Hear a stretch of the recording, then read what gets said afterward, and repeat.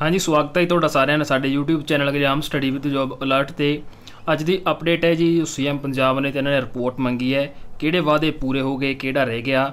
ਸੋ ਇਹਦੇ ਸੰਬੰਧ ਵਿੱਚ ਕੀ ਗੱਲਾਂ ਸ਼ੇਅਰ ਕੀਤੀਆਂ ਨੇ, ਪੂਰੀ ਜਾਣਕਾਰੀ ਤੁਹਾਡੇ ਨਾਲ ਸ਼ੇਅਰ ਕਰਾਂਗੇ। ਸੋ ਚੈਨਲ ਨੂੰ ਸਬਸਕ੍ਰਾਈਬ ਤੇ ਬੈਲ ਆਈਕਨ ਨਾਲ ਤੇ ਪ੍ਰੈਸ ਜ਼ਰੂਰ ਕਰ ਲਿਓ, ਤਾਂ ਜੋ ਤੁਹਾਨੂੰ ਸਮੇਂ ਸਿਰ ਵੀਡੀਓ ਦਾ ਨੋਟੀਫਿਕੇਸ਼ਨ ਮਿਲਦਾ ਰਹੇ। ਤਾਂ ਸ਼ੇਅਰ ਕਰਦੇ ਹਾਂ ਜੀ, ਪੂਰੀ ਜਾਣਕਾਰੀ।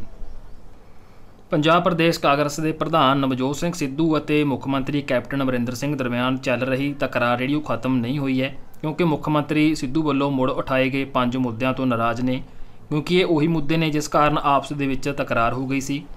ਕੈਪਟਨ ਨੇ ਹਾਈ ਕਮਾਂਡ ਦੁਆਰਾ ਦਿੱਤੇ 18 ਨੁਕਤਿਆਂ ਤੇ ਕੰਮ ਹੈ ਜਿਹੜਾ ਉਹ ਸ਼ੁਰੂ ਕਰ ਦਿੱਤਾ ਹੈ। ਸੋ ਪਿੱਛੇ ਤੁਹਾਨੂੰ ਅਸੀਂ ਅਪਡੇਟ ਵੀ ਦਿੱਤੀ ਸੀ ਜੋ ਕਾਂਗਰਸ ਵੱਲੋਂ, ਸੈਂਟਰ ਵੱਲੋਂ ਜੋ ਹਾਈ ਕਮਾਨ ਹੈ, ਤਾਂ ਇਹਨਾਂ ਨੇ 18 ਨੁਕਤੇ ਦਿੱਤੇ ਸੀਗੇ ਕਿ ਜੋ ਪਹਿਲਾਂ ਲੋਕਾਂ ਨਾਲ ਵਾਅਦੇ ਕੀਤੇ ਨੇ 2017 ਦੇ ਵਿੱਚ, ਇਹ ਪੂਰੇ ਜਿਹੜੇ ਉਹ ਕੀਤੇ ਜਾਣ, ਇਹ ਉਹ ਨੁਕਤੇ ਦੀ ਗੱਲ ਕਰ ਰਹੇ ਨੇ।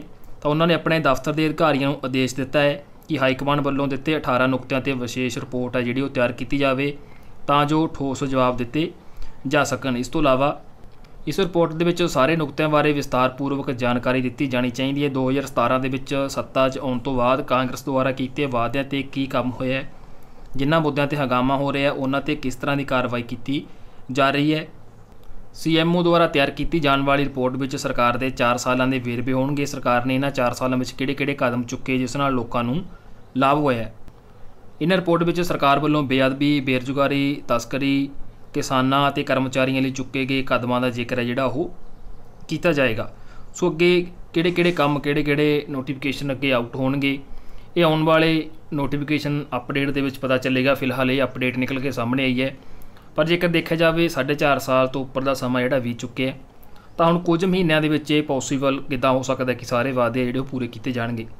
ਬਾਕੀ ਆਉਣ ਵਾਲਾ ਟਾਈਮ ਦੱਸੇਗਾ ਕਿੰਨੇ ਵਾਅਦੇ ਪੂਰੇ ਹੁੰਦੇ ਕਿੰਨਾ ਲੋਕਾਂ ਨੂੰ ਰੋਜ਼ਗਾਰ ਮਿਲਦਾ ਹੈ, ਕਿੰਨਿਆਂ ਨੂੰ ਇਨਸਾਫ ਮਿਲਦਾ ਹੈ, ਕੀ ਕੁਝ ਹੁਣ ਸਰਕਾਰ ਇਹਨਾਂ ਕੁਝ ਕੁ ਮਹੀਨੇ ਜੋ ਬਾਕੀ ਰਹਿੰਦੇ ਨੇ, ਇਹਨਾਂ ਦੇ ਵਿੱਚ ਕਰੇਗੀ ਚੋਣ ਜਾਬਤਾ ਵੀ ਲੱਗ ਜਾਏਗਾ। ਸੋ ਇਹਨਾਂ ਬਾਕੀ ਰਹਿੰਦੇ ਮਹੀਨਿਆਂ ਦੇ ਵਿੱਚ ਕਿੰਨੇ ਵਾਅਦੇ ਪੂਰੇ ਕਰ ਸਕੇਗੀ। ਇਹ ਆਉਣ ਵਾਲਾ ਟਾਈਮ ਦੱਸੇਗਾ। ਤੁਹਾਡੇ ਇਸ ਪ੍ਰਤੀ ਕੀ ਵਿਚਾਰ ਨੇ ਕਮੈਂਟ ਜ਼ਰੂਰ ਕਰਿਓ। ਧੰਨਵਾਦ ਜੀ।